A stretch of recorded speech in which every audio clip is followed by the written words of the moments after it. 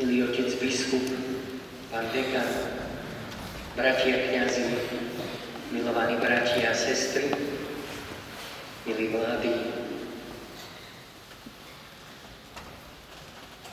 Keď som počul, že teda ideme na kapitulu do katedrály, tak pamätám si, že ako bohoslovec, vždy keď som tu prišiel, tak bolo tu chladno, tak my tú katedrálu dobre poznáme ako bohoslovci.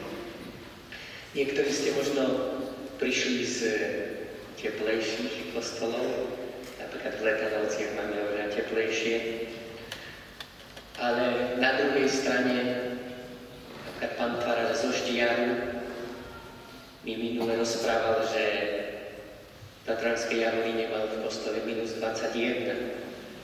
Takže tu je teplo teraz. Keď som nad tým uvažoval, tak som si spomenul na ten najznámejší príbeh zo života svätého Martina, ako to opisuje Sulpicius Severus, kde píše, že v tom čase vtedy boli strašné mrazy, že bola veľká zima. A uprostred zimy šiel Martin, prechádzal na koni ako vojak pod katekumen a videl žobraka trasúceho sa od zimy a rozťal ten svoj plášť, prikryl ho polovicou toho svojho plášťa. Svetý otec Benedikt XVI hovorí, vo svete celkom odtrhnutom od Boha a tým aj od lásky človeka mrazí až zuby škripu. Není len taká zima, že vonku je zima, ale môžeme pozorovať niekedy aj veľký chlad vo vzťahu. A vtedy to naozaj mrazí. Čím to je, že z hrejivej lásky sa stane ukrutná, mrazivá nenávisť.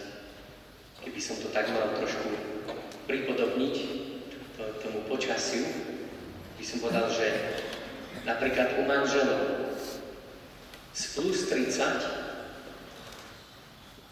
to počasie, tá klíma sa zmení na minus 30. Taký chlad je niekedy medzi manželmi, pozorujem, medzi súrodencami, medzi rodičmi a deťmi niekedy v susedstve. Čím to je, že to takto ako si zamrzne všetko, taký chlad vo vzťahu.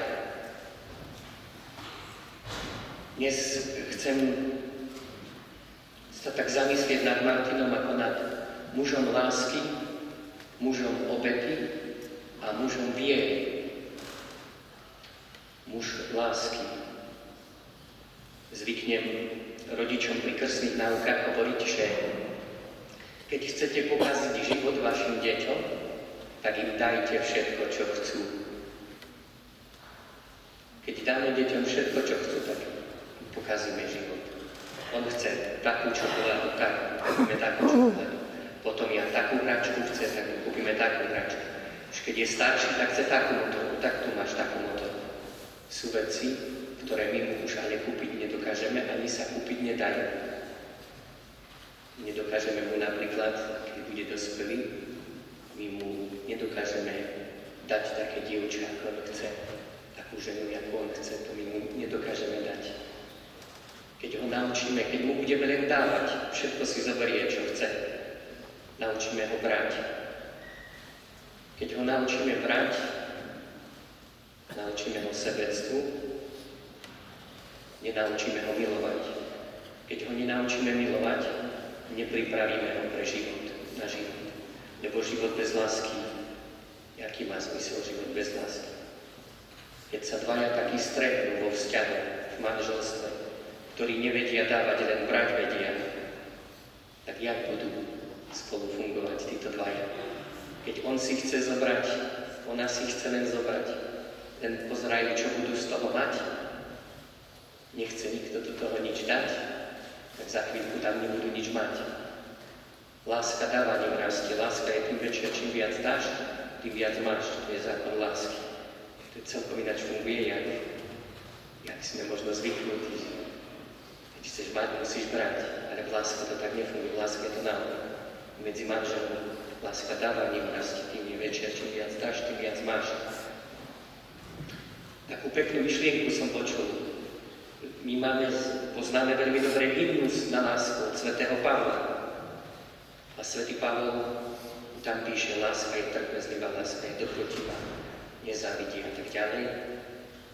Takú peknú myšlienku som počul, že môžeme zameniť to slovo láska za, za meno Ježiš. A teraz bude Ježiš je trpezlivý, Ježiš je dobrotivý, Ježiš nezávidí a tak ďalej a tak ďalej. A ešte ďalej môžeme tam dať napríklad svätého Martina.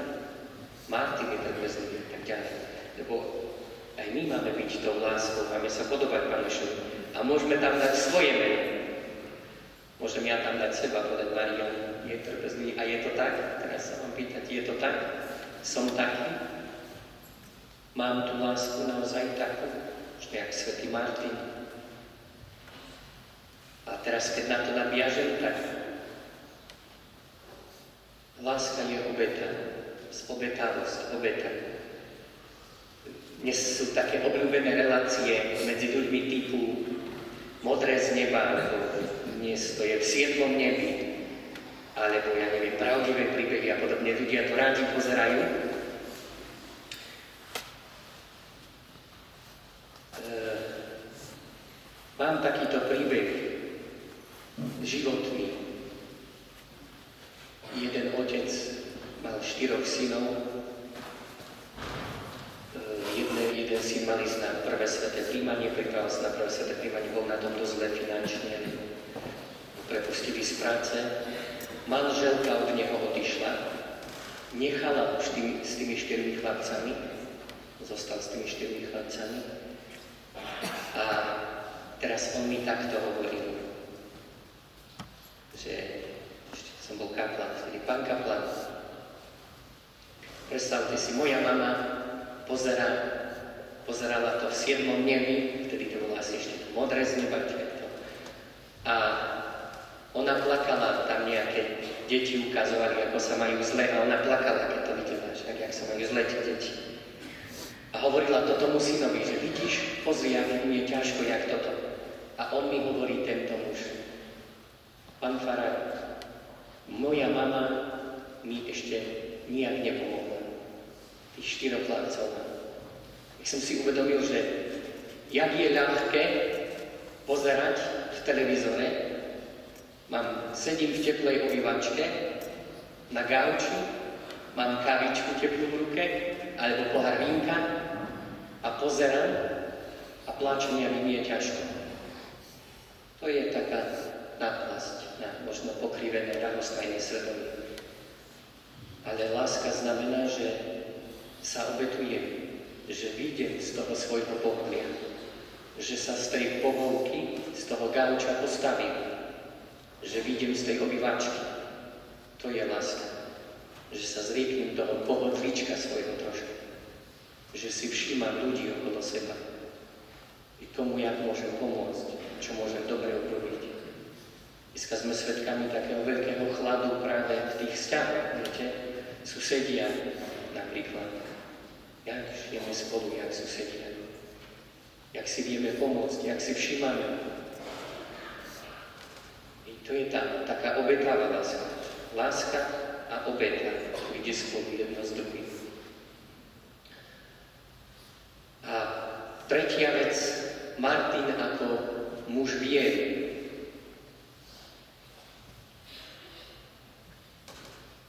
Keď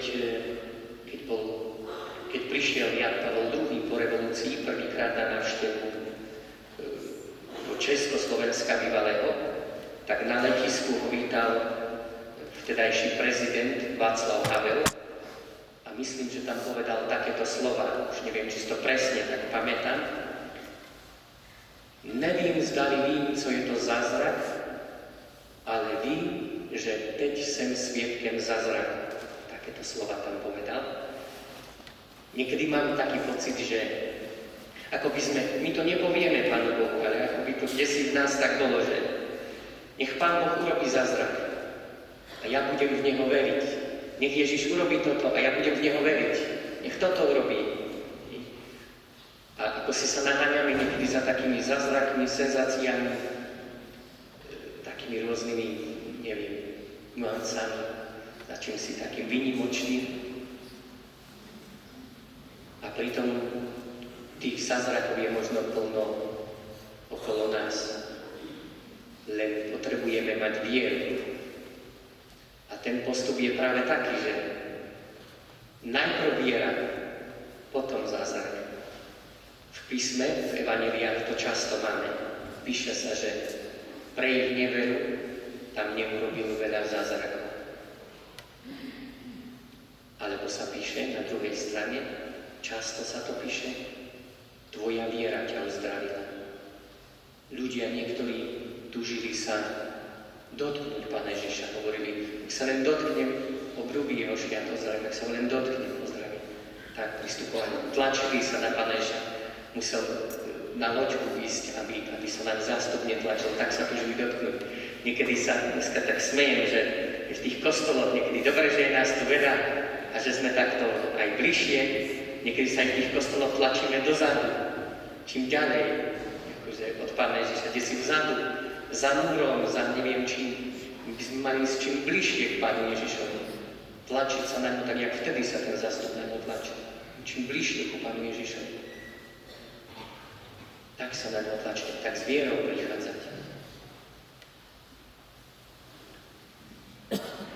Vnímam takých sedem veľkých zázrakov, ktorých ako kňaz som svetkom dennodenne. Je to týchto sedem zázrakov. Krst, birmovanie, Eucharistia, sviatosť zmierenia, sviatosť chorých, kniazstvo a manželstvo. Sedem veľkých zázrakov, ktoré Pán Boh dal ľuďom, ktorými dnes mnohí pohrdajú. Budeme naháňať zázraky kde kade a my máme zázraky tu, priamo pred nami. Taká svetá omša Eucharistia. To je veľký Boží zázrak. Nemusím nikde chodiť, aby som bol svetkom zázraku. Len či mám vieru. Teraz pozrite, príde chlapec, mladý, povie mame, často mi to mami hovoria, povie mame, osobášiš, aj mama povie, mal by si sa posobášiť. Mame, mami, ale mne papier netreba. Ja teraz rozmýšľam, ten chlapec, je veriaci či neveriaci. Verí on sviatosť manželstva, alebo neverí. Verí v Božiu milosť, ktorá vychádza zo sviatosti manželstva, alebo neverí. Alebo teraz sveta spoveď, sviatosť zmerenia. Na čo mám ísť na spoveď sa farárovi spodať? Čo tam farárovi budem hovoriť? Na čo mu to budem hovoriť? Ja hneď si kladem otázku. Verí ten chlapec tú sviatosť zmierenia, či neverí. Verí, verí v Božiu lásku a Božie milosrdenstvo, či neverí. Tak mi to vychádza, že asi nie. Vieru, s vierou prežívať sviatosti. Všetky. Každú jednu. Nie, že jednu chcem, toto mi daj, pán Farár, ale toto ja nepotrebujem. Všetky nám dal Pán Ježiš sviatosti. Od krstu po manželstvo, každú jednu aby nám v živote pomáhali. Všetkými tými sviatostiami sa nás Boh dotýka. Zvláštnym spôsobom. Každá tá sviatosť je zázrakom Božím. Od krstu až všetky tie sviatosti. A každú tak treba prežívať s vierou. Viesť k tomu aj mladých, viesť k tomu aj deti. Aby s vierou primali, prežívali každú sviatosť. Svetú spoveď s vierou, bez viery sa nedá prežívať sveta spoveď. Svetú omšu, bez viery sa nedá prežívať sveta omša je živý Kristus. Prežíva to ako stretnutie s ním.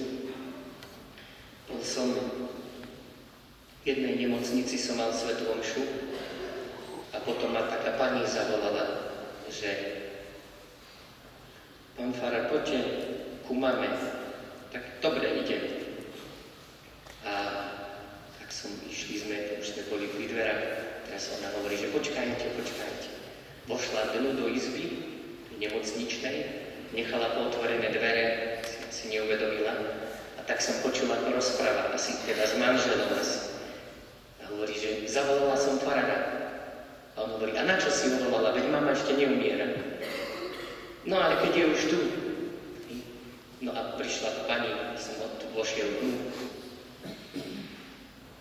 Staršia babka tam bola, ich mama.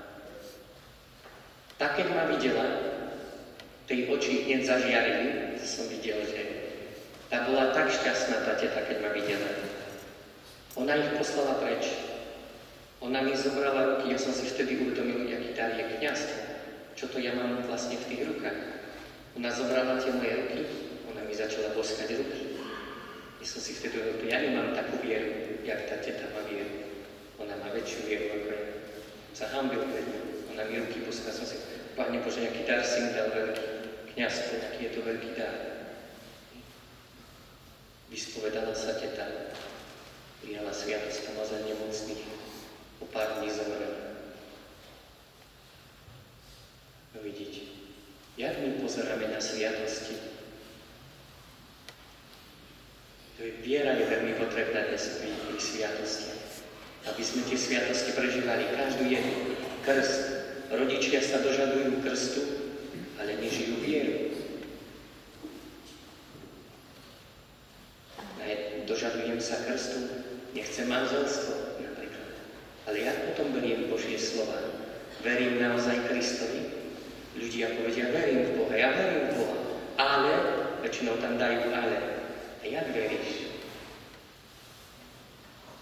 Keď verím v Boha, to znamená aj povedať, verím Bohu. A keď verím Bohu, tak verím Božiemu slovu, verím Božej láske, Božiemu milosrdenstvu, Božím prikázaniam, verím sviatostiam, verím Jeho prisúbeniu. Všetkému verím, čo Pán Boh všetko príjma, tak jak to Pán Boh dá v poslušnosti, v pokore, vo viere. A tak, milí bratia a sestry, chcem nás dnes tak pozbudiť, aj na príklade svätého Martina. Martin, tak ho vnímam aj na základe toho životopisu jeho, že to bol taký muž zázrakov. Ale preto to bol muž zázrakov, preto sa okolo neho diali zázraky, lebo to bol muž lásky, obety a viery. Miloval, obetoval sa a veril Pánu. I my dnes toto veľmi potrebujeme milovať, mať opravdivú lásku, aby nebol chlad v našich srdciach, aby sme neboli takí tvrdí, sebeckí, aby sme sa nedali prevalcovať tým konzumizmom, ktorý dnes vládne vo svete, že sa stavia mať nad byť, viac je to, čo mám, to, čo som. Aby sme nedovolili, aby tento chlad, tá tvrdosť sa vládla v našich srdciach, bola láska. Nehociaká láska, obetáva láska, ktorá vyjde zo svojho pohodlia, nie, že pozerám do televízora a hovorím, jo, jak im je ťažko. To ty tým nikým, nikomu nepomôžeš. Výjsť zo svojej obývačky, pomôcť niekomu, všímať si, čo môžem dobre urobiť. Takú lásku mať obetavú a vieru v Pána Boha. Nech nám to Svetý Martin pomáha.